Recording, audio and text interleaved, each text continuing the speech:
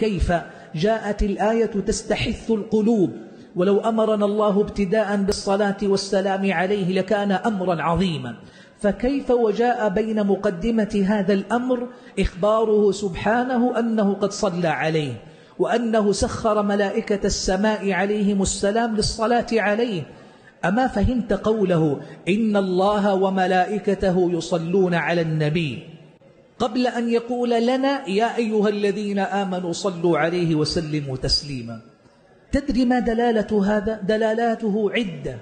أعظمها أنه يغريك بأن تقبل بالصلاة عليه لما أخبرك أنه سبحانه صلى عليه.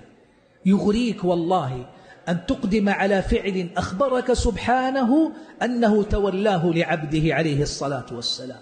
يغريك أن توافق ملائكة السماء في أمر عظيم هو الصلاة على النبي صلى الله عليه وسلم.